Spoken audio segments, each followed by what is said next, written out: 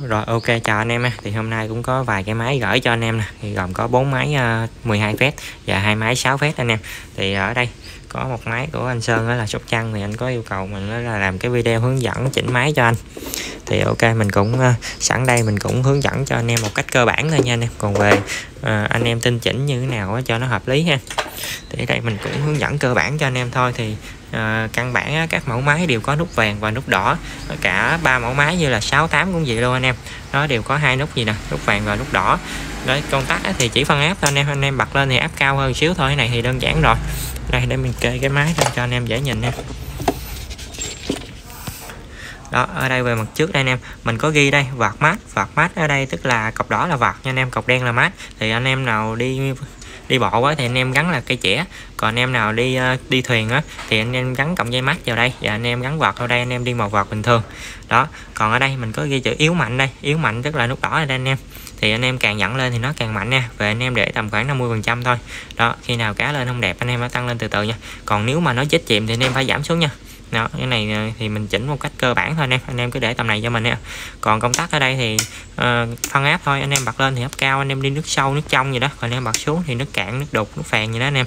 Đó bật xuống thì máy nó sẽ yếu hơn một xíu thôi anh em. Cho nó đi nước nặng tạp chất thì nó sẽ hợp hơn ha. Còn về đây cái nút vàng thì mình có ghi chữ chọn lì cho anh em nè. Tức là chế độ đó.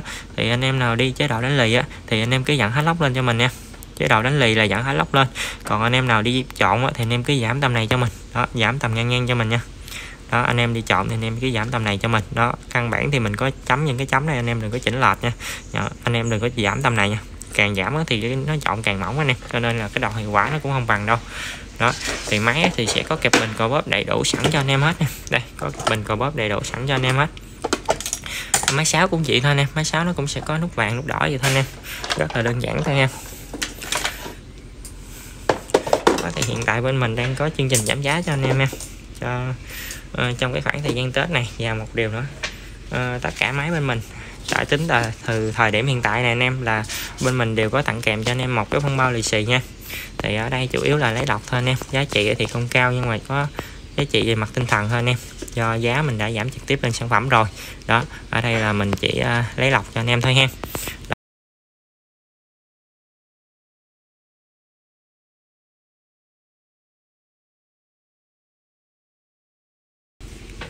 Anh em nào á còn có dự định xài máy á thì anh em à, tranh thủ liên hệ mình ha. Thì tầm khoảng uh, một vài ngày nữa thôi là mình ngưng chuyển hàng cho anh em nha thì anh em tranh thủ để mình có thể gửi hàng đến anh em trong cái tết cho nó kịp nha anh em.